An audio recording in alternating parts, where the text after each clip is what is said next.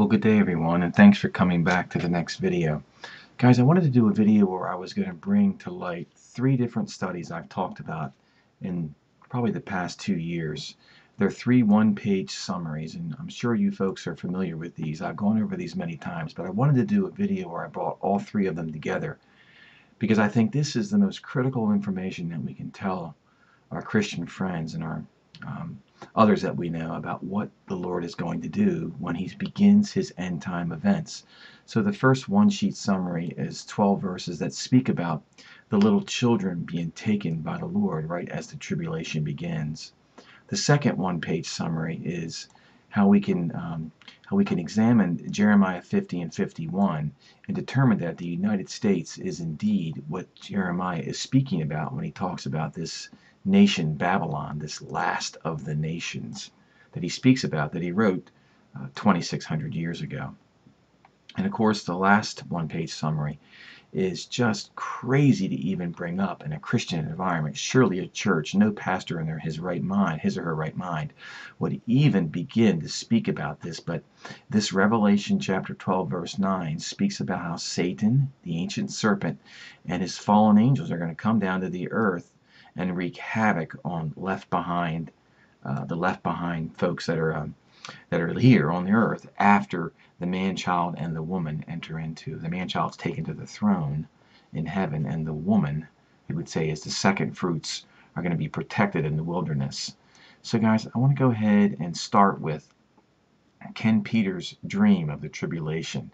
In his dream he said that there were no children uh, anywhere at the beginning of what his tribulation dream, how it started. Let's listen. Again, there weren't local law enforcement agencies, but it was more of a, a kind of a military or militia. It seemed like martial law. Hmm. Uh, people were greatly frightened. One thing I remember that I will never forget was um, that little babies had just uh, disappeared for a period of time in this dream. They were gone. No, no little babies from, you know, newborn. Where did they go? Where did all the babies go? They just disappeared. Uh, they were just gone. Yeah, they had just disappeared. Many, many mothers were very frightened. A lot of toddlers had disappeared. Uh, and then a period of time into the dream, uh, it, it, people began to have children again. And I knew that this was the end, even though I didn't. Okay, so if I could just offer up here an explanation. So the little ones were taken at the beginning, and then after the Antichrist uh, begins to rule the world and issues the mark of the beast, the RFID chip to tweak everyone's DNA such that we aren't actually human, not we, but those aren't actually human anymore, then they begin to have kids again. And these these are the children, the babies that are dashed against the stone that you can read about in the Bible. You can go ahead and search on that word dashed. But let's go ahead and go back to uh, my study here. Now, this information, I have done my best very politely to share this information with um, people of mine, friends of mine who are Bible folks, uh, pastors, um, th this is impossible to share with uh, you know churchianity Christian types. It's not that they're mean or bad people or anything like that. They just can't fathom that God will actually do what He says. And we know in the Bible um, years ago, Jesus had the same problem. You know, he Jesus tried to tell Peter that he had to go be arrested and flogged and and, and crucified. And Peter himself got in the face of, the, of our Lord and said said no, that'll never happen. Of course, Jesus accused him of working with Satan at that time. He says, Get behind me, Satan. The same thing happened on the road to Emmaus the day that Jesus rose from the dead. He showed up and was hanging out with these two guys who were walking to the road to Emmaus. That was a town in Judea. And he shielded who he was and he was speaking to them. And after he realized that uh, they were confused about the events that occurred during the crucifixion and resurrection of himself. Jesus makes the claim. He says, he says, "You fo oh, foolish ones, slow to heart to believe all that the prophets have spoken." See, the same problem that Jesus had back then is the same problem we have today. Christians do not want to read biblical prophecy for whatever reason. Many of it's the teachings in, in the denominational churches, and we'll talk about that in a little bit. But for whatever reason, they just it's ignored. So if we read the words of Jesus, um, I'm going to speak about these these prophecies now. We can get a picture, a full picture of how all this is going to go down. Now, Jesus Himself tells us that the little children, and I would classify that as those under the age of accountability, which might be seven or under, or it would be anybody. Um, who would have who would be autistic or anyone who is retarded, adults who are not uh, they're not accountable for their sin. And Jesus goes on to say this. He says, How dreadful it will be in those days for pregnant women and nursing mothers.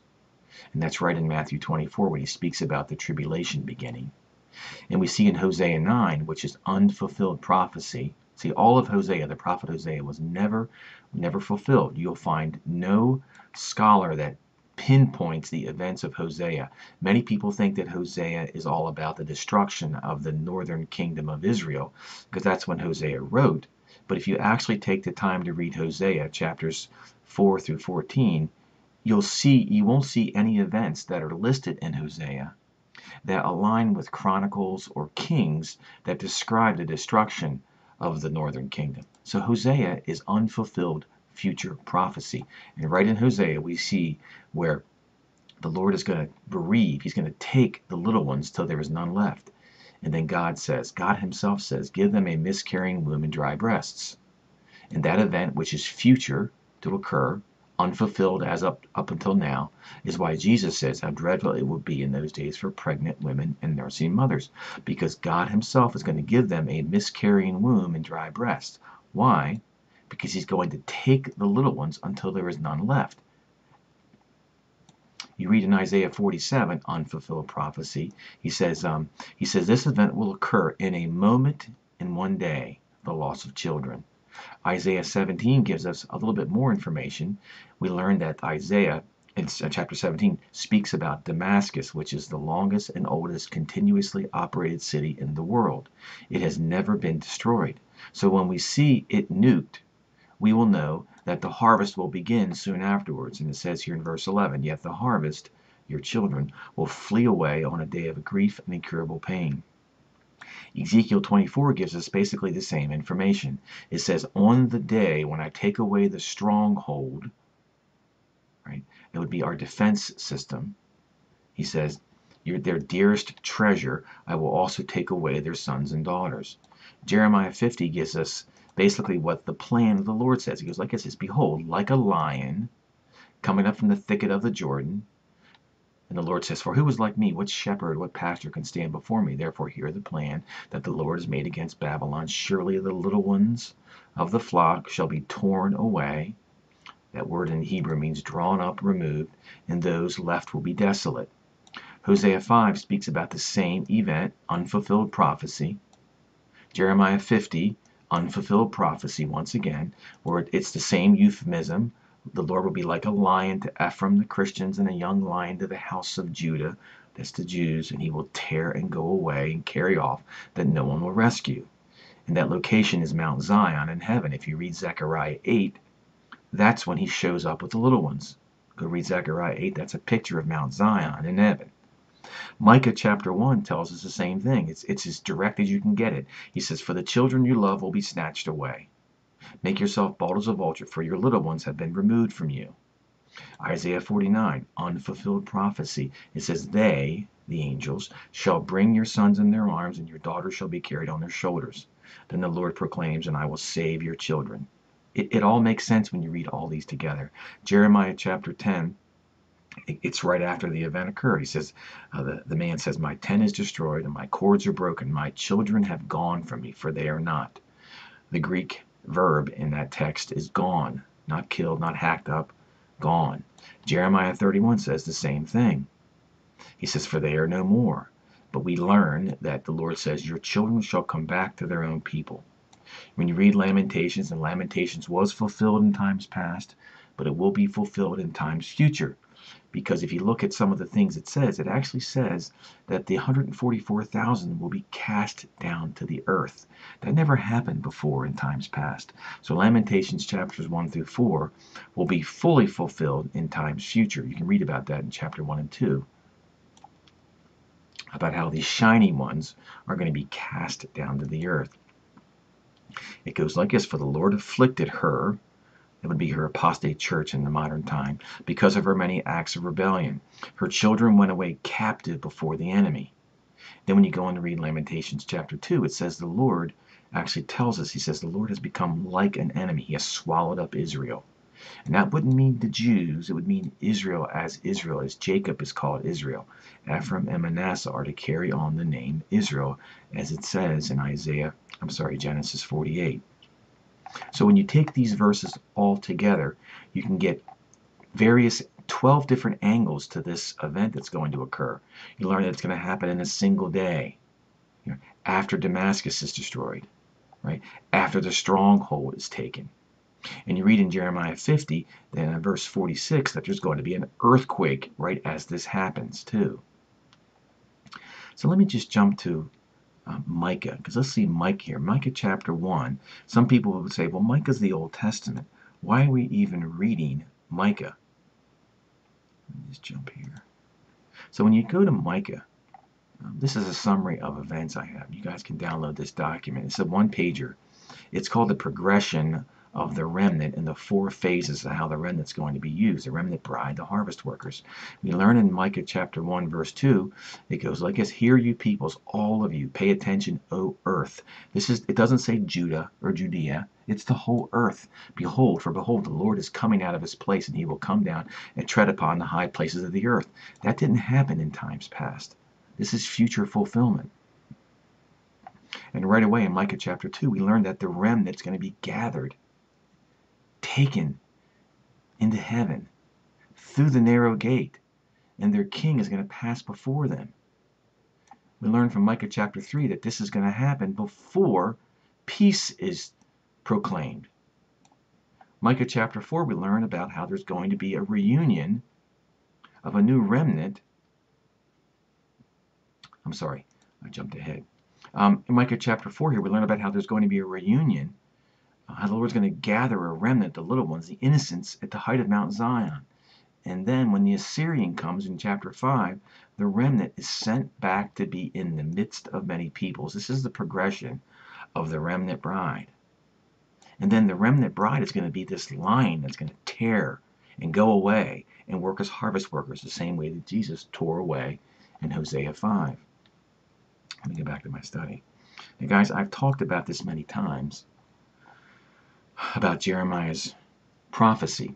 I'm not going to go through this. You guys can download this document, but when you read all these clues, you simply come away that ancient Babylon in no way fulfilled all of these. And the one that just kills me here is the fact that it's the land of images. Four times in these two chapters, it speaks about how Babylon sends its images all over the world, causing the whole world to sin. And that's all the U.S. does is we send our images out motion pictures, TV, porn, all of it. And you see here in Jeremiah 51, verse 13, it says, O you who dwell by many waters, rich in treasures, your end has come. You can see a picture here. Ancient Babylon had rivers going through it. It doesn't say, O you with many rivers. It says many waters, many bodies of waters. Okay, The U.S. is surrounded by water. Then we learn in verse 42, it says, The sea, the oceans have come upon Babylon. She's covered with tumultuous waves. You don't get tumultuous waves from little rivers going through ancient Babylon. This is speaking of future fulfillment for the United States. And of course, you've heard about the asteroids that are predicted to come that will cause these tsunamis that will destroy the USA. It says here in verse 3, it says, For out of the north, Russia, a nation shall come up against her. It doesn't say Russia. I'm implying Russia. And Russia will make the land a desolation.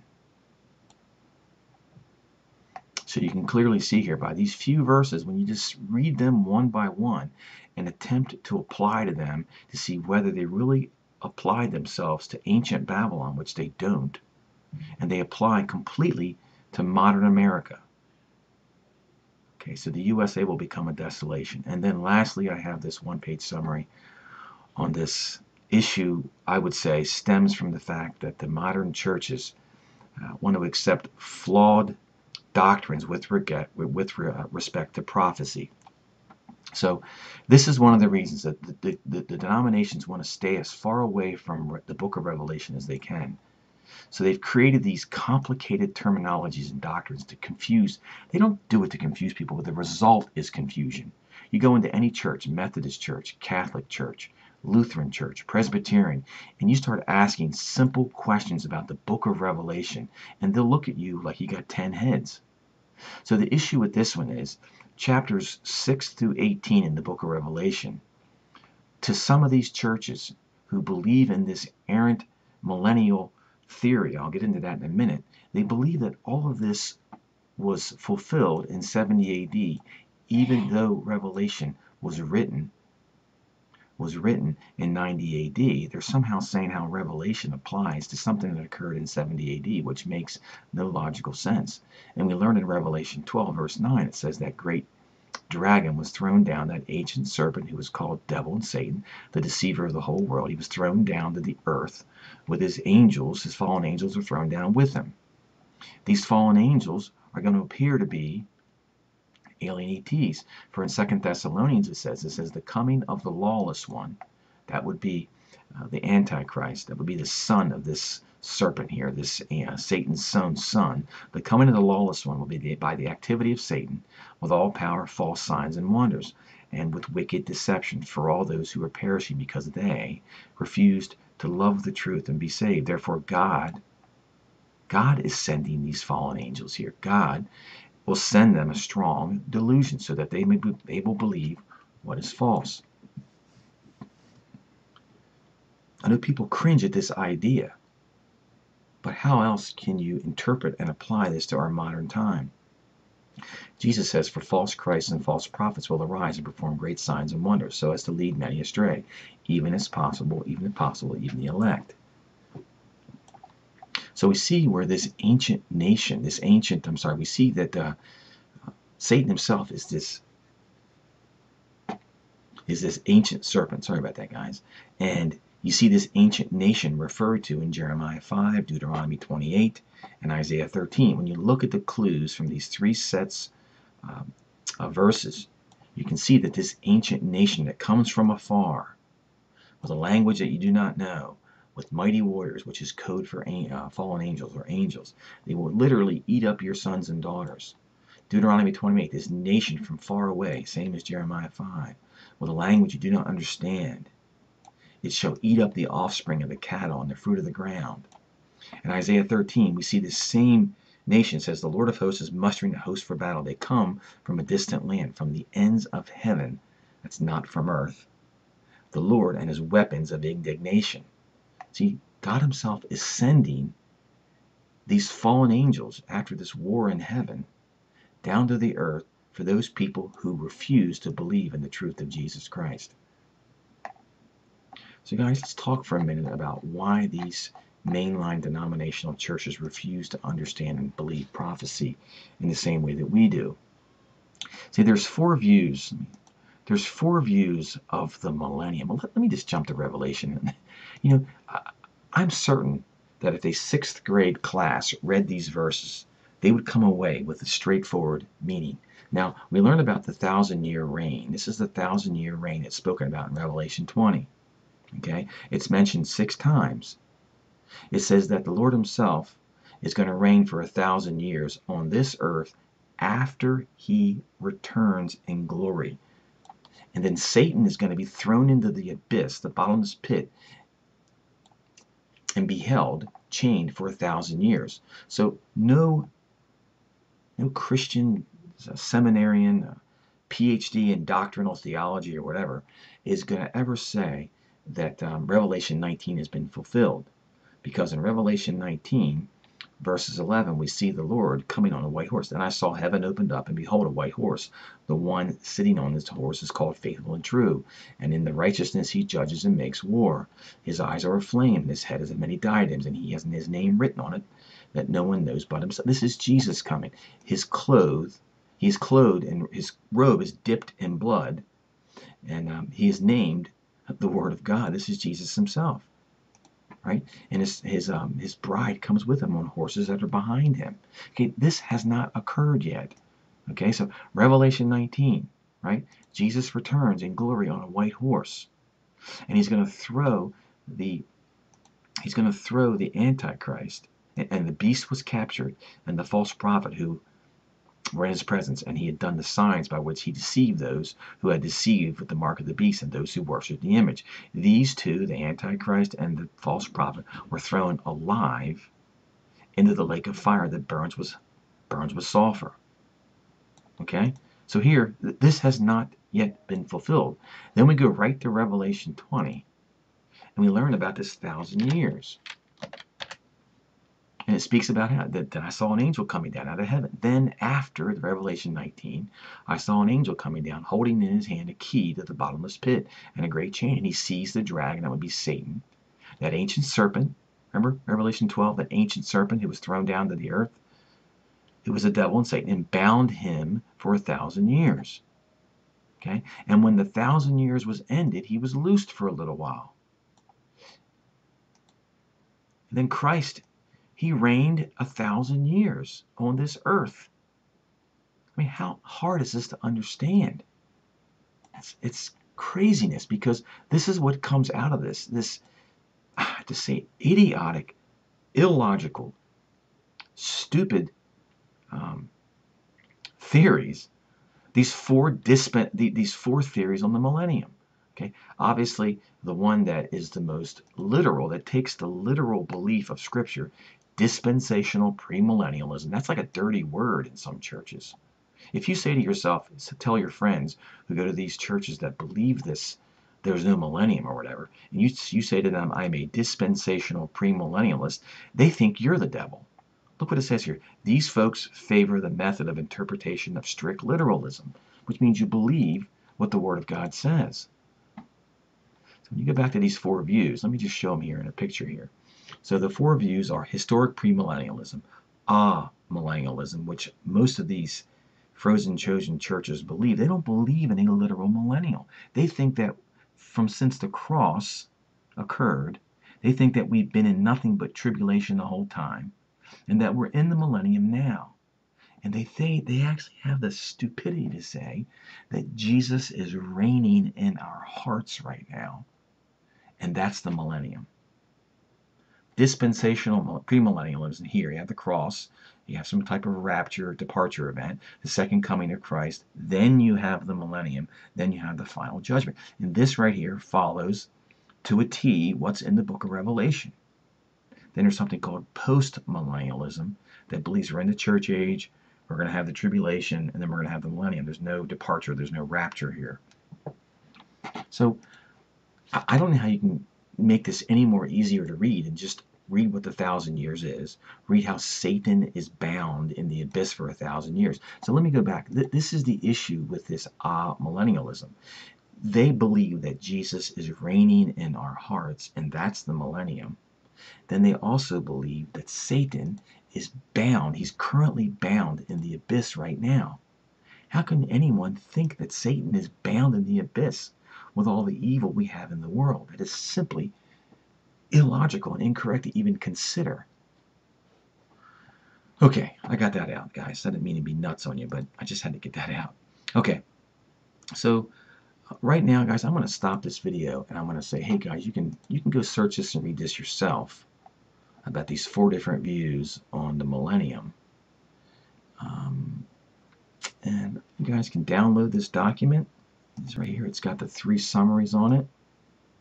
Let me, let me just show you one. Let me spend a little bit of time and um, just let me go, give me my, my thoughts on how I would say Revelation chapters, let me just go to chapter 6. This is when the seals begin. Okay, if you go to the, the sixth seal, it speaks about this. It says, um, it says the sky vanished like a scroll, as that it was being rolled up, and every mountain and island was removed out of its place. Are there any historical earthquakes that were noted in history where every single square inch on the planet literally shook like it was a worldwide earthquake? There isn't any. Let's go to, and these folks think, you know, the, these people who, who believe this stuff, that Jesus is reigning in our hearts, and that the um, and that Satan is bound right now in the abyss. And they somehow take Revelation uh, chapter 20. What, what they do, what they have to do is they have to take Revelation chapter 20 and place it before Revelation 19. Even when you can read the, the simple meaning of this, it, it, Revelation 20, 19 leads into Revelation 20. It makes no sense to even consider that. Then it says, I saw an angel coming down with a key to the bottomless pit. All right. Let me go back to Revelation 8. This is when the trumpets begin. Now, if we look at the trumpet judgments, we can see that the first, angle, first angel blew his trumpet, and a third of the earth was burned up, a third of the trees were burned up, and all the green grass has burned up. So, have we ever had anything in history where literally a third of the entire earth had its trees destroyed and all the green grass on the planet burned up? I mean, there's nothing in the history books that even allude to anything like this. And this happened in 70 AD. It, it makes no sense, guys. It's just, it's, it's, it's total, utter nonsense to even consider this amillennial perspective. I, I'm just, it's, anyway, uh, here it is right here. If you look at amillennialism, these folks believe no, there's no millennium refers to the reign of Christ, and he's he's ruling in our hearts. It, it's just it's silliness, and the fact that the you know the, the, the people that go to these churches don't ask these questions it's just it's mind numbing for me to even comprehend it. So this the, the way to combat this is is to not get mired down in these complex big long words doctrinal statements and all this stuff. It, you just ask the question go to revelation chapter 8 and say has this you know this verse 7 this first uh, um, first trumpet judgment was this ever fulfilled in times past? Or this? I have it right here in the document. Uh, where is it? Right here. You know, this is Revelation, the order of events, a kind of a top overview, you know. Was, right here, was this, um, was this Revelation 12, verse 9? Right here. And that great dragon was thrown down, that ancient serpent who was called devil and Satan, deceiver of the whole world. The reason he was thrown, he was thrown out of the heavenly realm and then right after it says, it says that we should rejoice, O heavens, and you who dwell in them. But woe to the earth, and earth and sea, for the devil has come down to you in great wrath, because he knows that his time is short. Who in their right mind would think that we have fallen angels walking down the street today? That's for the future. Okay, guys, I think that is it. I had a couple other documents here. Um, guys, I want to let you go. Please download this document and uh, you know, when, it, when, when you have to share this information with our Christian brothers, you have to do it. Do it with a sense of love, and you're trying not to get yourself too excited when you have to just explain these, I would say, straightforward and simple observations of history and prophecy in the Bible. With that, guys, I'll let you go. Have a great day, and God bless you.